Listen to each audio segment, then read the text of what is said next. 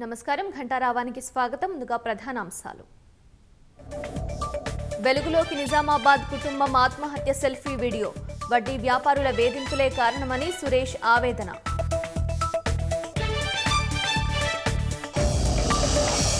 గంజాయి ముఠాను పట్టుకున్న రాచకొండ పోలీసులు. నలభై మూడు లక్షల విలువైన సరుకు స్వాధీనం.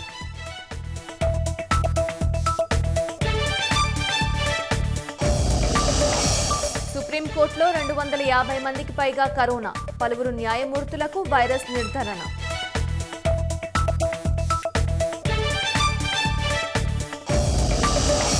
ప్రపంచవ్యాప్తంగా కోవిడ్ విలయతాండవం. అమెరికాలో కొత్తగా మూడు లక్షల కేసులు మూడు వందల ఎనిమిది మరణాలు.